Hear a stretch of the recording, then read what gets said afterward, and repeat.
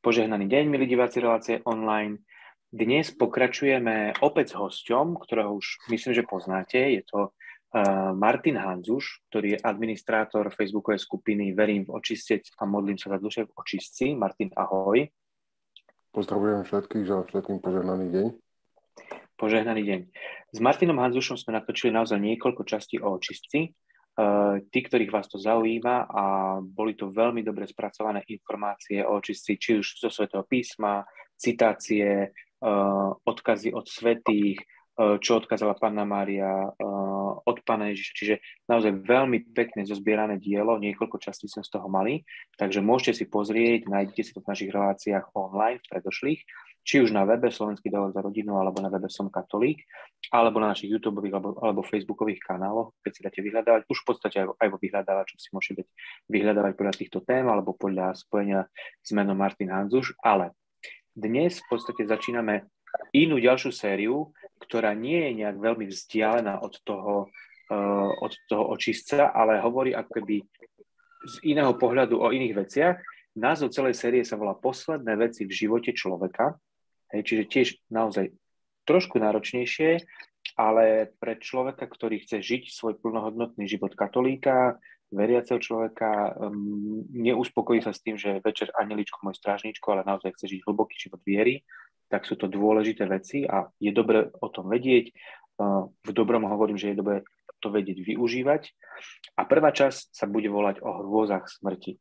Spolu so mnou sa bude pýtať Erik z Biňovského slovenského dohovoru za rodinu. Erik, ahoj. Prajem pekný deň všetkým. Pochválený buď Pán Ježiš Kristus. Na veky amen. Martin, ja som vďačný teda, že si sa pustil akoby do ďalšej série, lebo naozaj to je vždy zozbierané kvantum materiálov. Uh, poďme teda hneď úplne klasickou jednoduchou otázkou, prečo sa ľudia boja smrti? Uh, takže existujú také tri hlavné dôvody, prečo je tomu tak. Prvý je, pretože človek má v sebe zakorenenú lásku k životu, vlastne už od stvorenia. Druhý, pretože každý rozumný človek si dobre uvedomuje, že smrť je trpka a oddelenie duše od tela sa nemôže uskutočniť bez, bez utrpenia. Tretí je, že pretože nikto nevie, kam pôjde po smrti, ani ako obstojí v deň súdu. Teraz sa povenujeme tak trošku podrobnejšie druhému a tretiemu dôvodu, aby vlastne na jednej strane tí, ktorí vedú bezstarostný život, mohli byť tým, čo budú počuť, prebudení do takého strachu, alebo by som skôr povedal, do takej bázne zo smrti a aby sa naučili vyhýbať sa hriechu. Na druhej strane, aby každý z nás bol varovaný, aby sa dobre pripravil na smrť, aby nás nezastihla nepripravených. Duša človeka je vystavená mnohým úzkostiam, obavám a žiaľom. A telo je taktiež vystavené bolestiam, chorobám každého druhu, no žiadna z týchto bolestí sa nedá porovnať s agóniou smrti. Všetko to utrpenie, choroba, všetok smútok, úzkosť, akokoľvek sú hrozné, čo tu prežívame na tomto svete, sú iste menej hrozne, hrozné ako smrť. Preto vlastne vidíme smrť ako takého mocného panovníka, najkrutejšieho a takého najneúprosnejšieho nepriateľa ľudstva.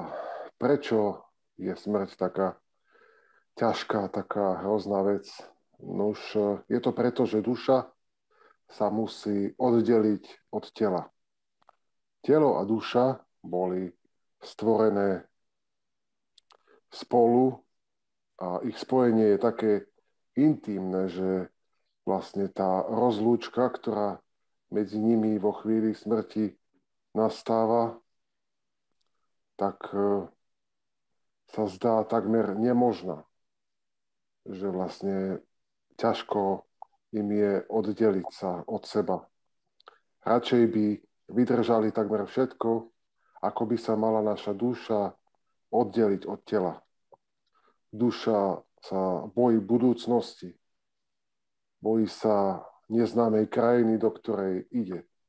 Telo si je zase vedome toho, že ako náhle ho opustí jeho duša, stane sa korisťou červou. V dôsledku toho duša neznesie opustiť telo a ani telo sa nechce odlúčiť od duše. Telo a duša túžia potom, aby ich spojenie zostalo neprerušené aby si spolu užívali sladkosti života.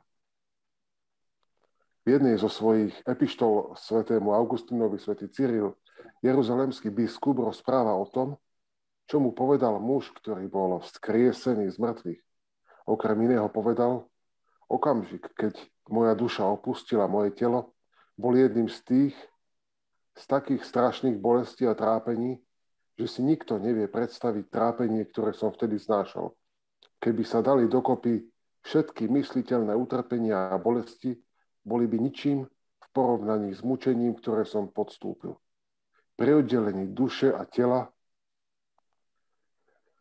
vlastne, ktoré podstúpil pri tom oddelení duše a tela. A na zdôraznenie svojich slov dodal, na adresu svätého Cyrila, vieš, že máš dušu, ale nevieš, čo to je.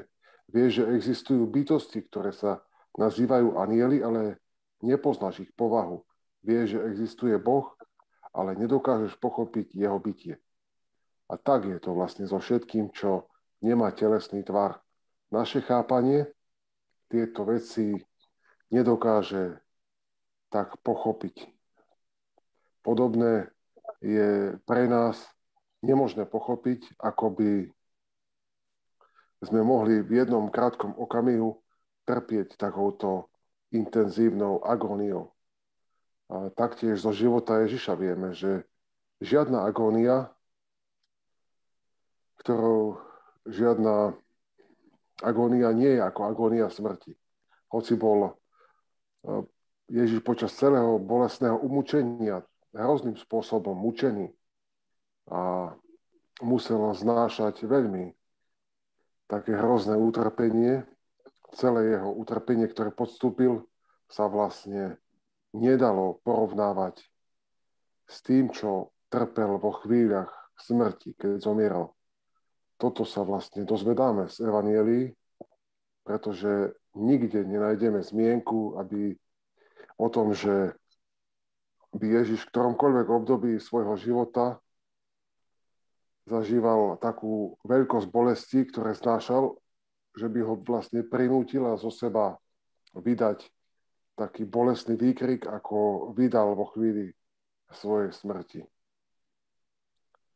A je teda zrejme, že v žiadnom období teda Ježiš takto netrpel, ako pri tom oddelení duše a tela,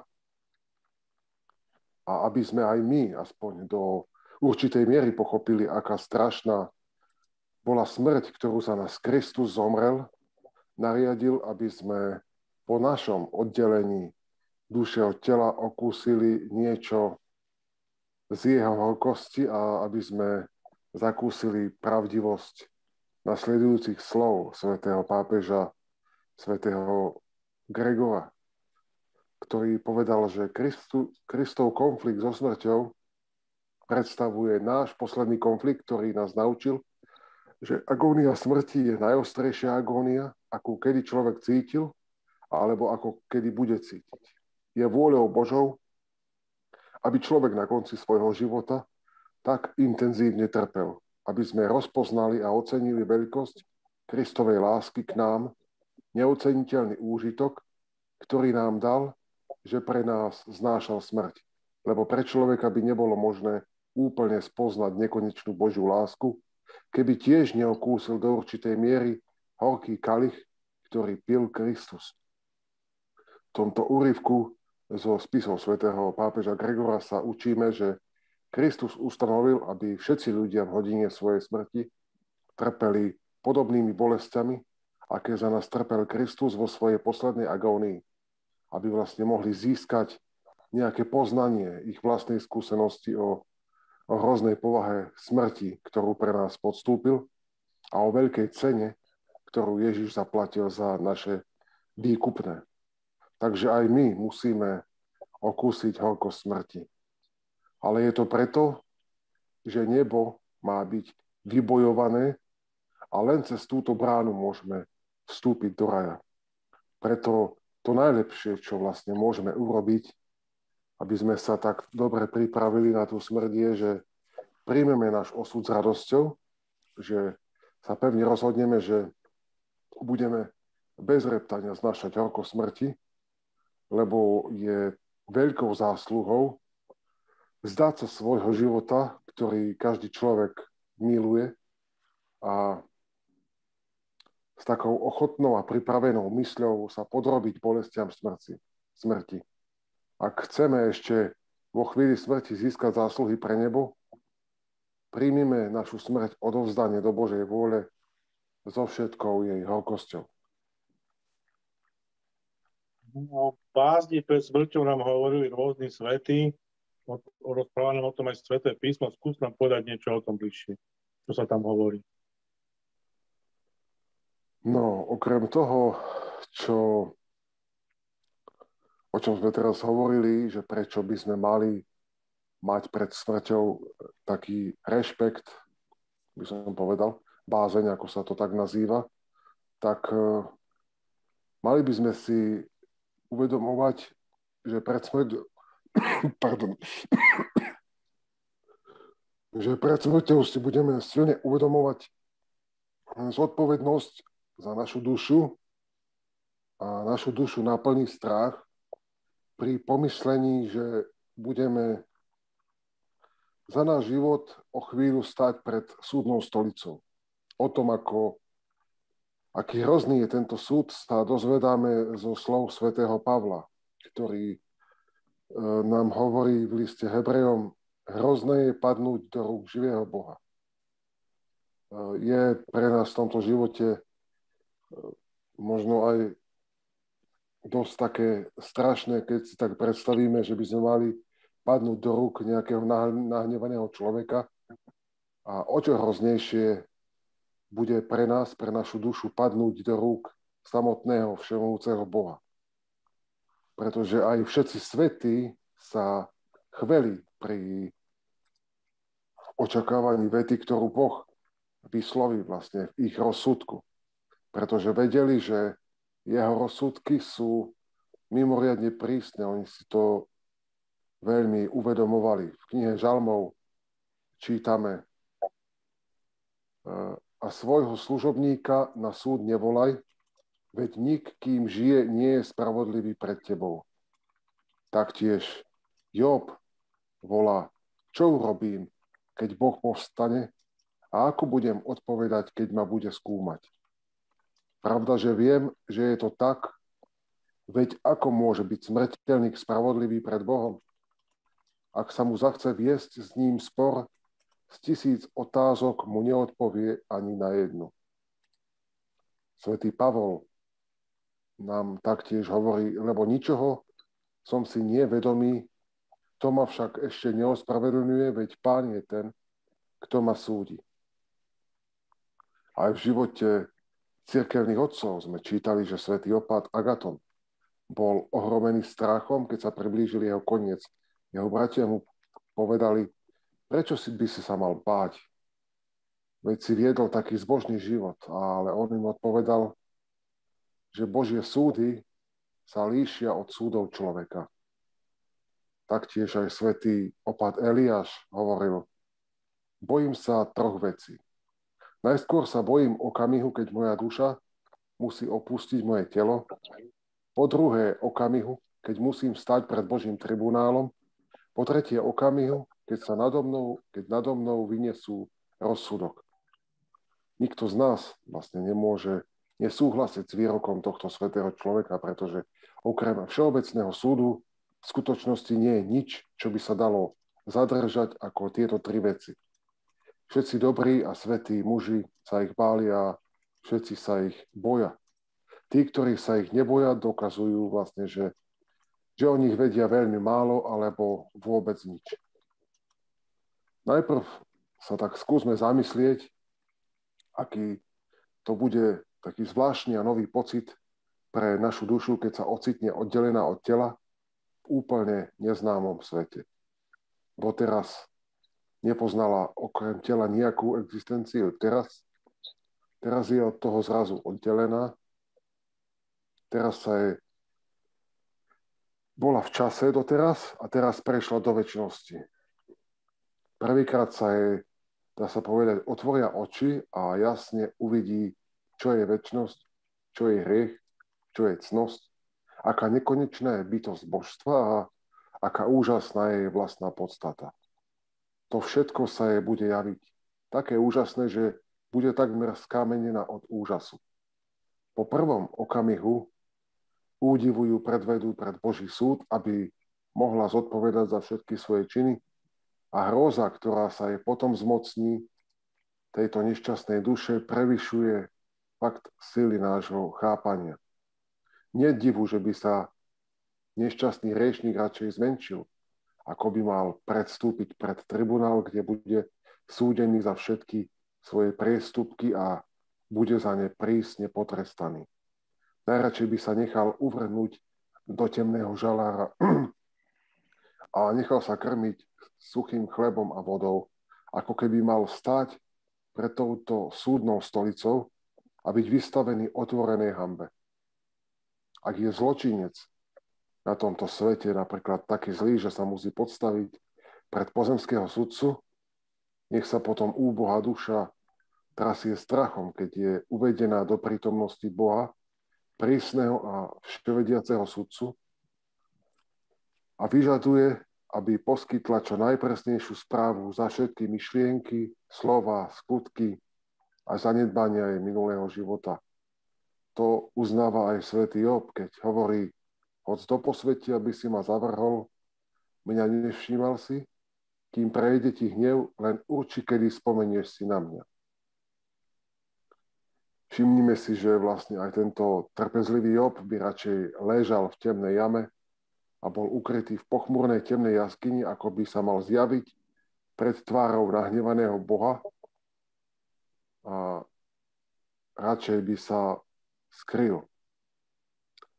Povedzme si teraz však aj o tom, že keď je duša predvolaná na osobný súd, na dušu budú dorážať bude dorážať 6 vecí, o ktorých... Ja ťa, pre, ja ťa preruším, Martin, uh, že teraz ako keby tie prvé dve otázky sú také náročné, sú ťažké, hej, ale musíme si na, naozaj v kontexte toho povedať, že Pán Boh nám pripravil nebo na stálo, my sme si ho tým vlastne prvým hriechom to nebo zavreli a vlastne toto je akoby odpoveď toho, že on nás naozaj za to bude súdiť. Hej?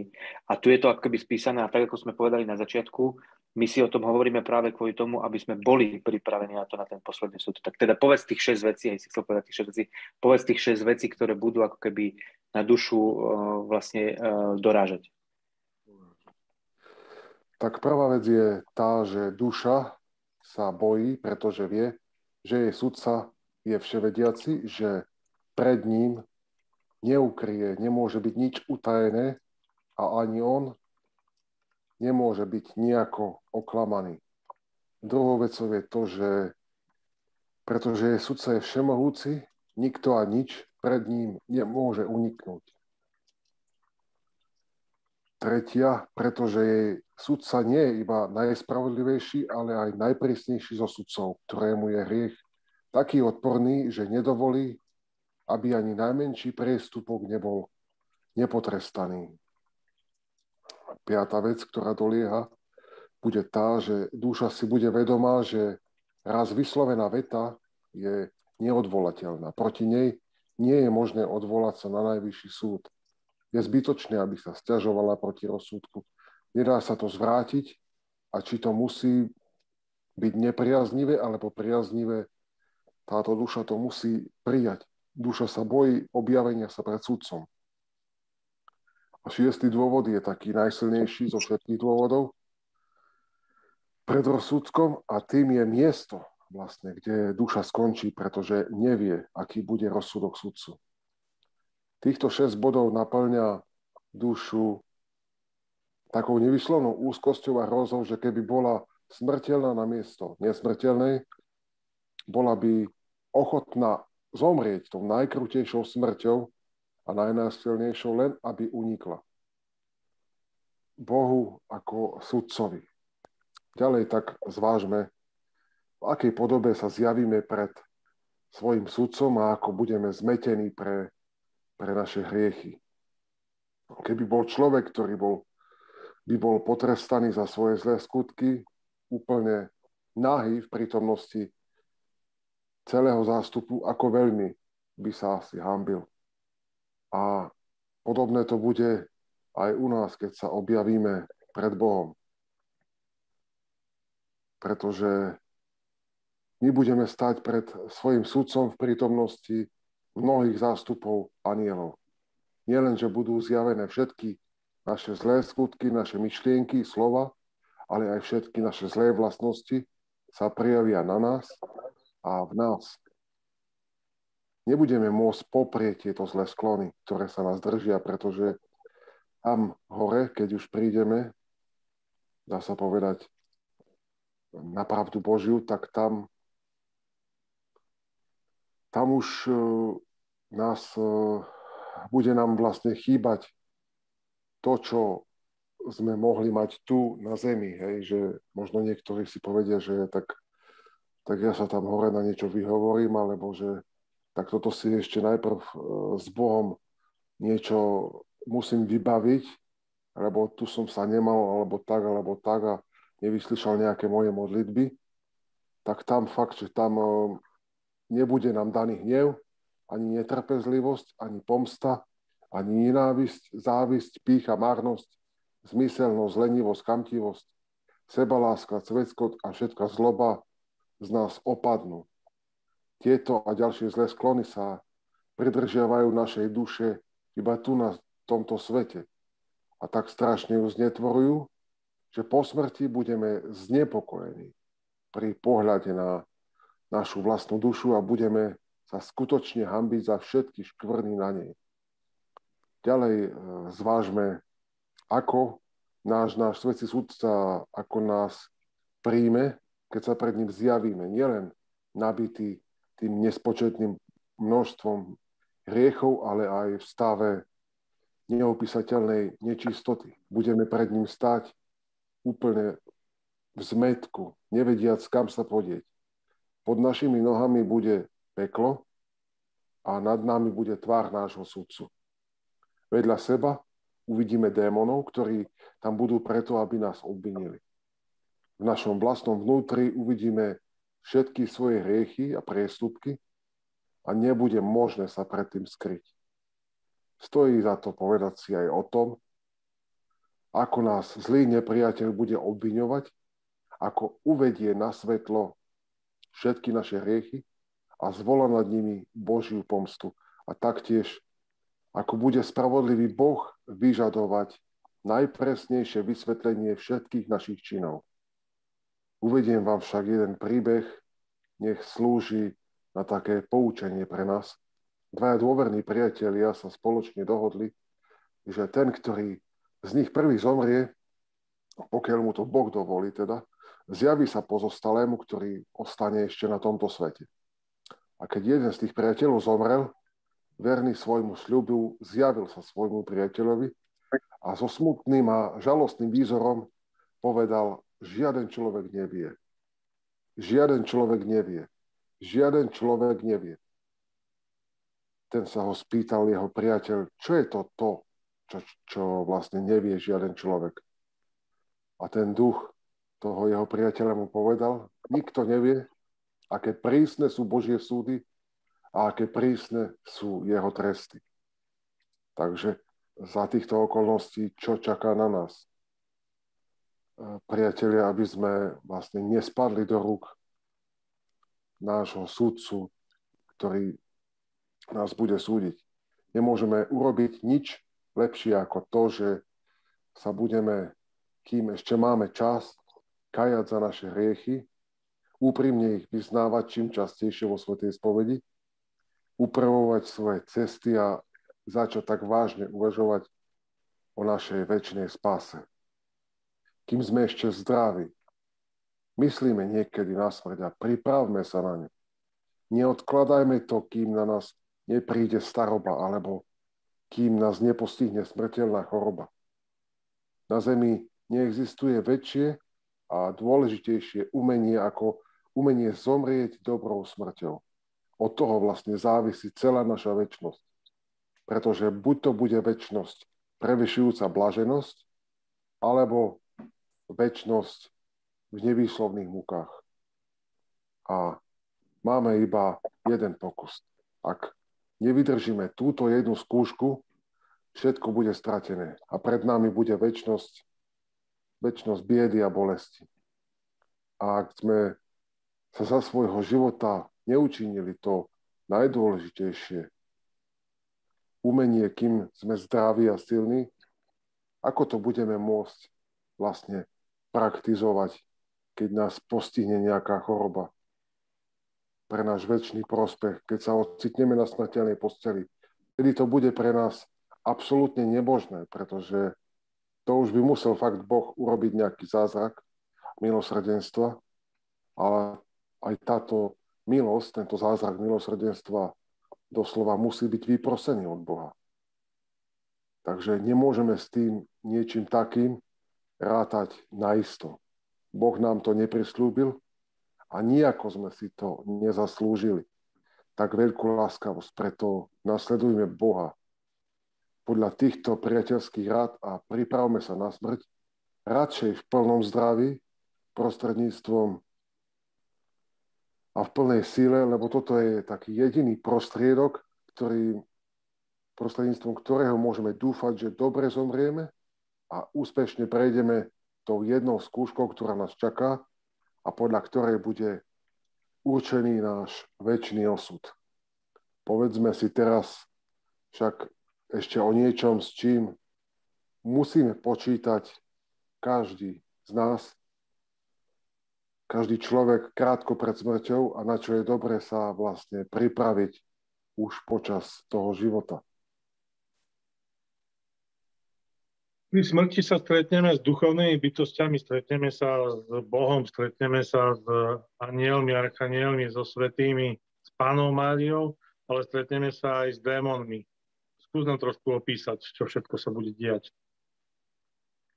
Áno, pretože, tak ako si povedal Erik, práve o tom eh, chcem hovoriť, že vlastne v tých chvíľach smrti to bude už, dá sa povedať, pre zlého taká posledná šanca, že keď sa mu počas života možno nepodarilo nás strhnúť nejako vážne, ale určite každý človek padá, tak eh, najmä v hodine smrti to bude tá jeho hodina, kedy aj Boh dopustí to, že ten jeho útok bude mimoriadne silný. Čo sa týka útokov satana, je vlastne dobre vedieť, že fakt spravodlivý Boh mu dáva túto veľkú moc napadnúť, napadnúť nás práve tak intenzívnejšie v hodine našej smrti. Ale nie je to pre našu by som povedal, záhubu, ale skôr je to taká skúška pre nás. Pretože my musíme pred smrťou ešte dokázať, že nám nič nezabráni v tom, aby sme opustili nášho dobrého stvoriteľa, nášho Boha. Z toho dôvodu vlastne zlý nepriateľ využíva úplne všetku silu, ktorú dostal a využíva všetky svoje sily na nás. Keď umierame v nádeji, že, že nás ešte naposledy privedie k riechu, ktorý by to bol veľmi rozhodujúci riech a mohol by nás uvrhnúť do pekla. No a počas celého nášho života, ako vieme, na nás zlý dolieha rôznymi pokušeniami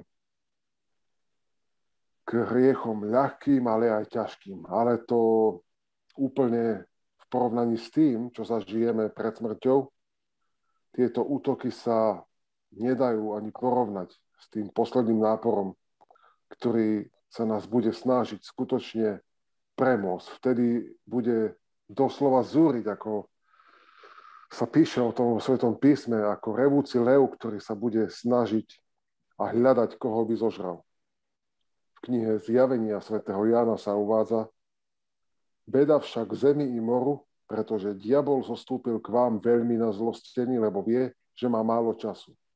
Áno, tieto slova budú mať pre umierajúcich obzvlášť veľký taký zmysel práve v tejto hodine smrti, pretože práve voči tým umierajúcim bude zlý prechovávať veľký hnev a všemocne sa bude nás snažiť zviesť, lebo on dobre vie, že ak teraz nedostane umierajúceho, do svojej moci, tak už nikdy nebude mať príležitosť to urobiť.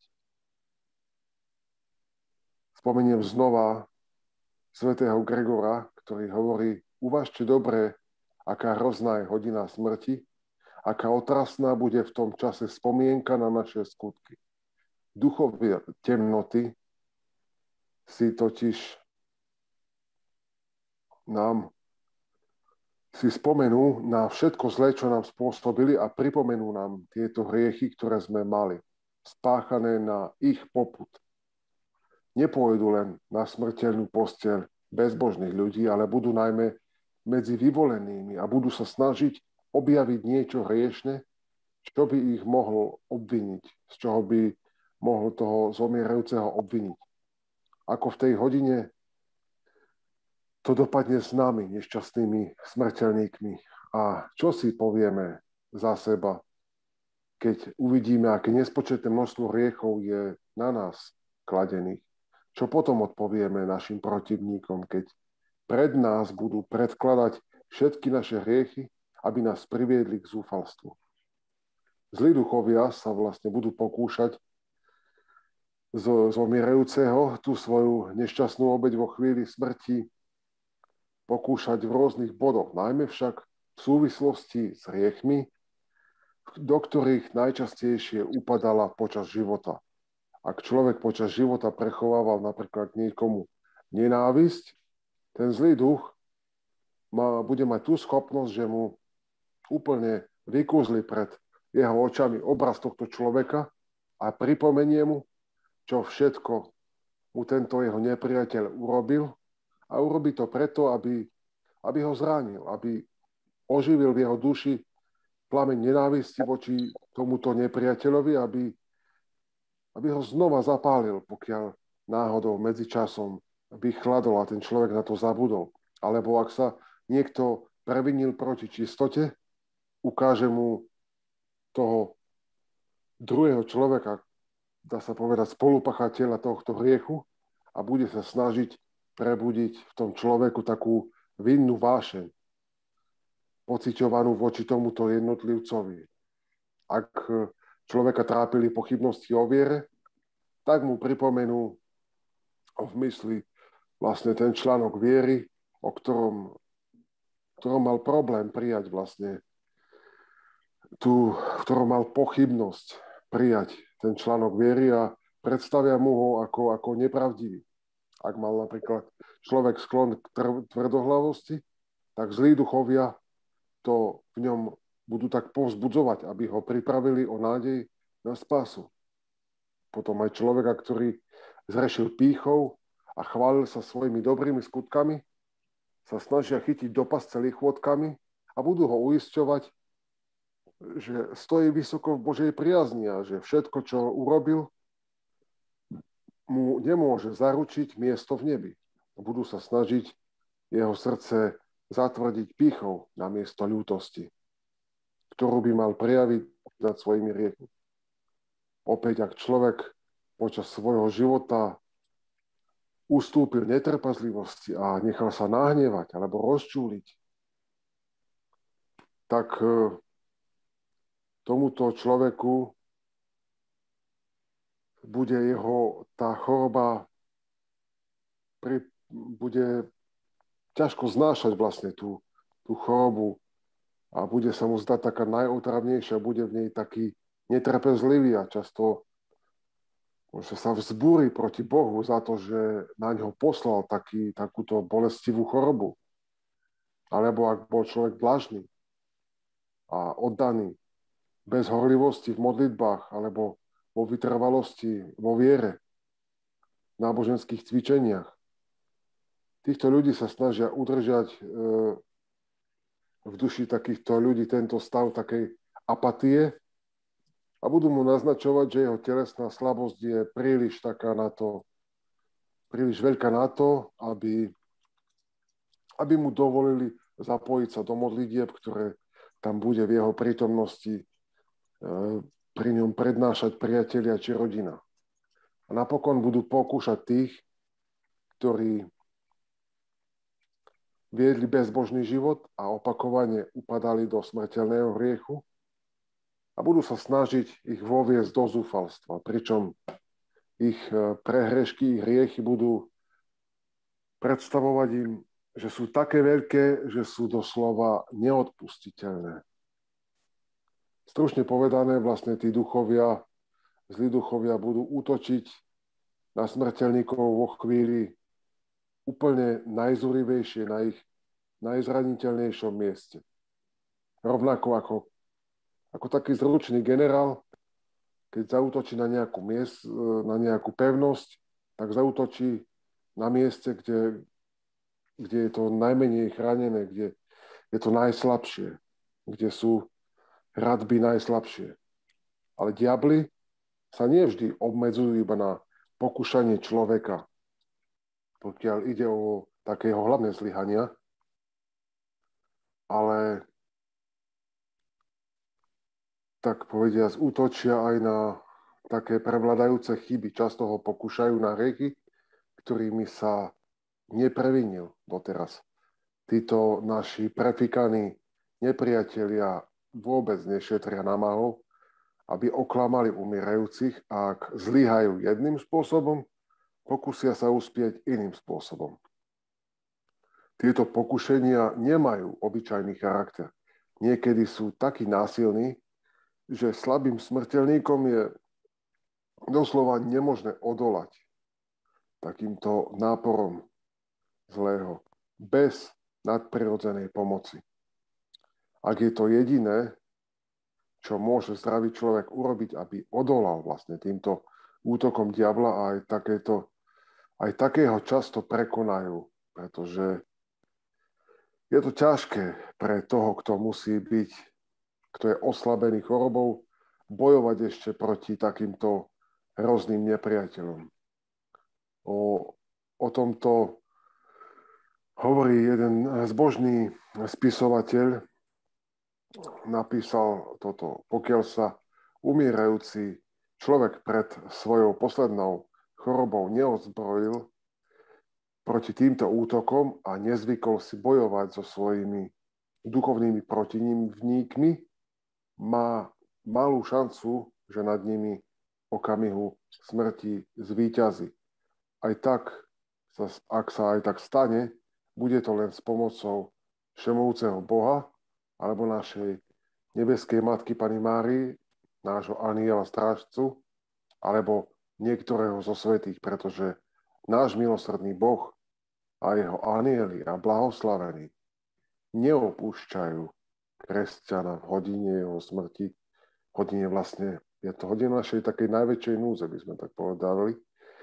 Práve naopak, ponáhľajú sa nám na pomoc, teda za predpokladu, že si tú pomoc zaslúžime.